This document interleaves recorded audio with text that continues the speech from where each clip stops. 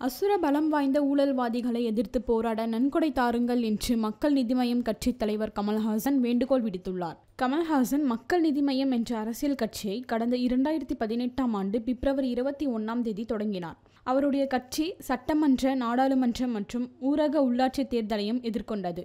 கடந்த ஆண்டும் நடந்த சட்டமன்ற தேர்தலில் மக்கள் நீதி மையம் போட்டியிட அனைத்து தொகுதிகளிலும் தோல்வியடைந்தது. கோவை தெற்கு தொகுதியில் போட்டியிட்ட கமல்ஹாசன் பாஜக வேட்பாளர் வானதி சீனிவாசனிடம் ஆயிரத்தி நானூற்று முப்பத்தி ஒன்பது வாக்குகள் வித்தியாசத்தில் தோல்வியை தழுவினார். தேர்தல் தோல்வியால் பல்வேறு முக்கிய நிர்வாகிகள் தங்களது பதவியை ராஜினாமா செய்து கமல்ஹாசன் மீது கடுமையான குற்றச்சாட்டுகளை முன்வைத்து மக்கள் நீதி மய்ய கட்சியில் இருந்து விலகி மாற்று கட்சியில் இணைந்தனர். டாக்டர் மகேந்திரன் முருகானந்தம் ஓய்வு பெற்ற ஐபிஎஸ் அதிகாரி மௌரியா தங்கவேல் உமாதேவி குமாரவேல் சேகர் உள்ளிட்ட நிர்வாகிகளும் விலகிச் சென்றதால் அந்த கட்சி நிர்வாகிகளே அதிர்ச்சியடைந்தனர். இந்த நிலையில் மக்கள் நிதி மையத்தில் இருப்பவர்களில் பலரும் அரசியல் பின்புலம் இல்லாதவர்கள். மக்கள் நலனுக்காக கட்சியில் இணைந்து பணியாற்றும் சாதாரண நடுத்தர குடும்பத்தைச் சேர்ந்தவர்கள் என்பதால் பிரச்சாரம் உட்பட சட்டப்பேரவை தேர்தலுக்கு செய்ய வேண்டிய செலவுகளுக்கு நிதி தேவைப்படுவதால் பொதுமக்களிடம் நிதி கேட்டுள்ளார் கமல்ஹாசன் நம் மீது திணிக்கப்பட்டிருக்கும் தரமற்ற அரசியலை மாற்றி மக்கள் நலனை முன்னிறுத்தும் நேர்மையான அரசியலை செய்ய தீவிரமாக களத்தில் நிற்கிறோம்.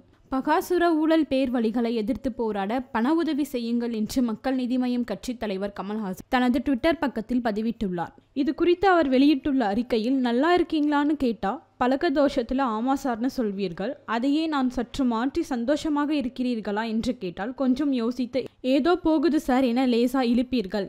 எங்கே போனது நமது மகிழ்ச்சி? யாரால் பறிபோனது நமது நிம்மதி? கொண்டாட்டமாக இருக்க வேண்டிய வாழ்க்கையை திண்டாட்டமாக மாற்றியது யார்?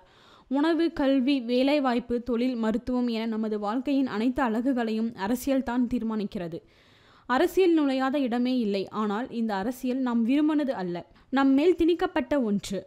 ஒரு பக்கம் மதவெறி மறுபக்கம் ஊரையே அடித்து உலையில் போட துடிக்கின்ற ஊழல் வெறி எல்லா பக்கமும் வாரிசுகளை வளர்த்து வரி சுருட்டும் வெறி என்று தமிழ்நாடு சீரழிந்து கொண்டிருக்கிறது. ஒளிந்த நேரங்களில் இரண்டு கழகங்களும் ஒருவர் மீது ஒருவர் பழி போடுவார்கள் அல்லது ஒருவரை ஒருவர் பழி வாங்குவார்கள் என கடும் விமர்சனம் செய்தனர்.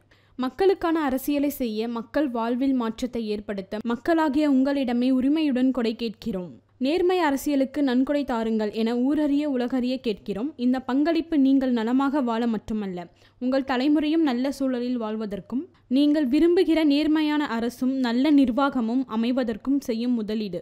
இங்கே விதைத்ததை நீங்களும் உங்கள் குடும்பமும் நிச்சயம் அறுவடை செய்யும்.